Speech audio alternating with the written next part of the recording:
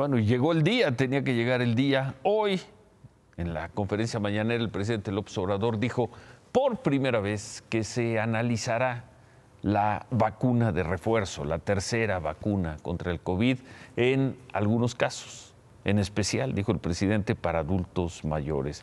Aunque expresó que serán los médicos quienes decidan, al menos ya se mencionó el tema, estamos entrando a diciembre y apenas hoy se vislumbra la posibilidad de que haya una tercera dosis, como ya está ocurriendo en muchos países, una tercera vacuna, al parecer, si se aplica, la primera línea sería para personas mayores. Hablando de vacunación, eh, comenzó en Durango la vacunación, ahí está también, llegó el día, para menores de 15 años, entre 15 y 17 años, son sin problemas de salud. Son nueve municipios donde se estará vacunando a estos jóvenes desde hoy hasta el domingo.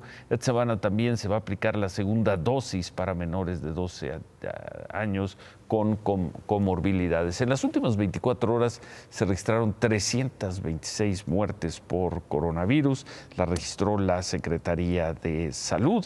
El acumulado reconocido por la Secretaría de Salud se acerca a las 300 mil personas, más las ya registradas por el, por el registro civil y pues la cifra ronda los 450 mil mexicanos reconocidos con COVID. Los contagios siguen bajos, siguen bajos comparados con otros momentos, 3.698 en las últimas 24 horas.